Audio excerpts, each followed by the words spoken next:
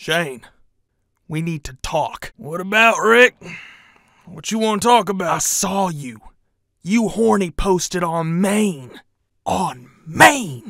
What's it to you, Rick? Shane, you can't do that. You can't post horny on main. You just don't do that. Now you think just because that new Genshin girl came out, what's her name, Shenshi or whatever, that you can just post her ass on main? God damn Now, you know what? You know what, Rick? That's the problem with you, Rick. You're always trying to dictate what I'm trying to do. Well, you know what, Rick? Not anymore. All right, Shane, I'm done listening to this. You're gonna keep horny posting on main.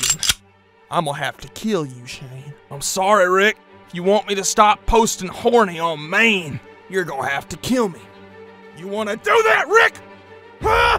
I'm sorry, Shane. I'm so sorry. Empty, asshole.